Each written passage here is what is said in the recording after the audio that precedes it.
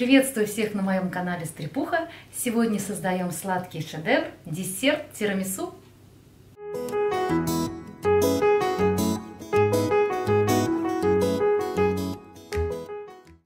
Для десерта тирамису нам понадобится маскарпоне в количестве 250 грамм, 4 яйца, одна упаковка печенья савоярди или дамские пальчики – чашка холодного крепко заваренного кофе, 60 мл рома или бренди, полстакана или 80 грамм сахарной пудры и для украшения какао-порошок. Я люблю золотой ярлык.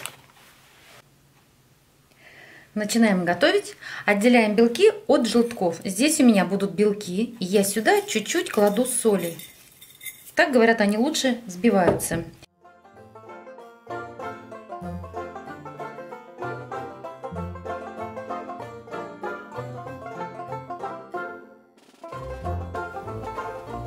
Взбиваю желтки с сахарной пудрой до бела. Начинаю на маленькой скорости, потом потихоньку прибавляю.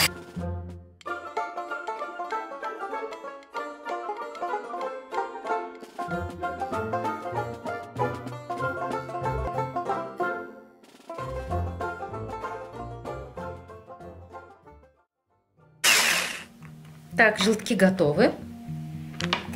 Они белые. Это показатель. Теперь приступаем к маскарпоне. Вот 250 грамм маскарпоне необходимо взбить тоже блендером. Начинайте на маленькой скорости, потому что он вязкий и может все лететь в разные стороны. Я это уже прошла. Вот. Где-то около одной минуты. Маскарпоне вот так вот мы взбили. Теперь аккуратно к маскарпоне добавляем наши желтки. Готовится этот десерт очень просто, он только кажется сложным. Готовится быстро, но вот застывает долго. После того, как приготовим, его надо будет не менее трех часов подержать в холодильнике, можно на ночь. Нежными движениями аккуратно вмешиваем взбитые желтки сахарной пудры к сыру маскарпоне. На низкой скорости смешиваем эти ингредиенты. В отдельной посуде взобьем яичные белки. Я достала яичные белки из холодильника. Все это время они у меня были в холодильнике. Они любят холод. Теперь нам нужно взбить их в крепкую пену до пышных высоких белых пиков. Начинаем на маленькой скорости и увеличиваем постепенно. Во, вот такая вот воздушная смесь у нас получается. Вот они стоят, наши пики. Вот до такого состояния. Теперь, что мы делаем? Нам необходимо вот эту массу выложить к той, которая у нас была. Тут действует простое правило по времени. 5, 1, 5. 5 минут мы вымешиваем желтки с сахаром, одну минуту маскарпоне смешиваем и 5 минут белки с солью. Все! Перемешиваем все до однородной массы. Сейчас переходим а, к выкладке печенья. Охлажденный кофе смешиваем с ромом. Кофе 150-200 мл. В отдельной широкой и невысокой миске. Вот ромчик. Перемешиваем. Здесь есть два варианта выкладки.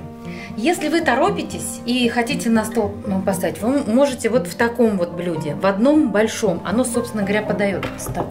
Я, э, мне нравится делать порционно, поэтому я буду выкладывать вот в такие стаканчики, вот в такие креманки из-под мороженого. Собственно говоря, мне кажется, и эстетически подавать их тоже будет приятнее. То есть у каждого будет э, свое блюдо.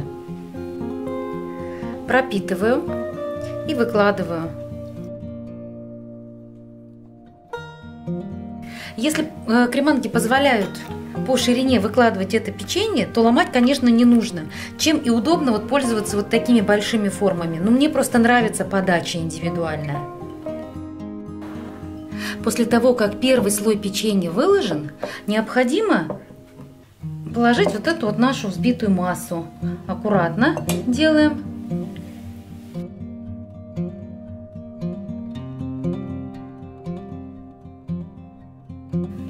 После того, как разложили, можно сделать в конце, а можно в середине процесса. Берете креманку и вот так вот потряхиваете для того, чтобы а, смесь распределилась равномерно. Постучали и переходим к укладке второго слоя печенья.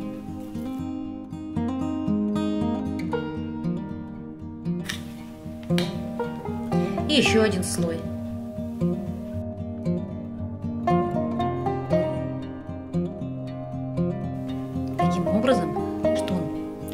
Полностью покрыл наше печенье савоярди.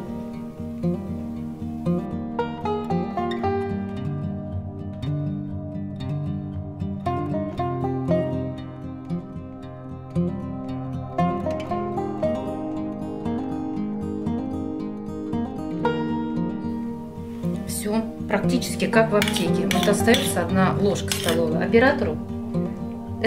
Попробуешь? Ну-ка скажи. Ну и как? Хороший? Вы его уже... Он такой нежный. Вообще, все, тирамису готов. Сейчас его нужно будет оставить в холодильнике или на балконе, ну, минимум на 3 часа, лучше всего на ночь. Сейчас надо будет закрыть пленкой обязательно, чтобы не попал никакой мусор сверху. Если бы я делала это вот в этой форме, я бы закрыла, естественно, таким образом. А поскольку я делаю каждое отдельно, то раньше я закрывала каждую отдельно, теперь я делаю так вот, хоп, и все. Ничего страшного. И то, что прилипнет, тоже не должно вас волновать, потому что сверху завтра или через три часа мы будем посыпать это тертым какао-порошком. Все. Тирамису готов. Напоминаю, что он должен простоять в холодильнике или в холодном месте от 3 до 12 часов. И этим самым он э, делает удобным в том, что можно приготовить его заранее. Все открываю. Ой, вот смотрите, какая нежнятина. И теперь Последний акцент. Значит, вот я насыпаю какао-порошок э, в такое ситечко. И сверху вот так вот просто вот прохожусь. Это классический тирамису, таким, каким мы его видим, когда нам подают в, э, в ресторанах, в кофейнях, в закусочных. Вот так вот обильно посыпаем. А еще мне очень нравится, когда присутствуют э, свежие ягоды. Так, одну секунду. Вот немножко у меня э, есть немножко мяты. Украшаю вот.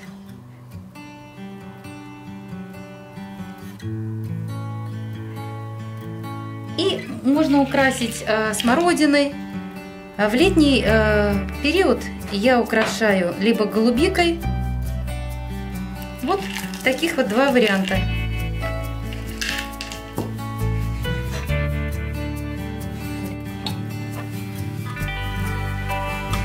Вот такой вот легкий десерт домашнего приготовления тирамису. Тирамису в домашних условиях. Пожалуйста, летний вариант, зимний вариант.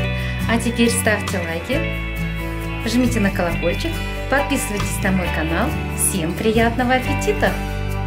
С вами была Эльмира.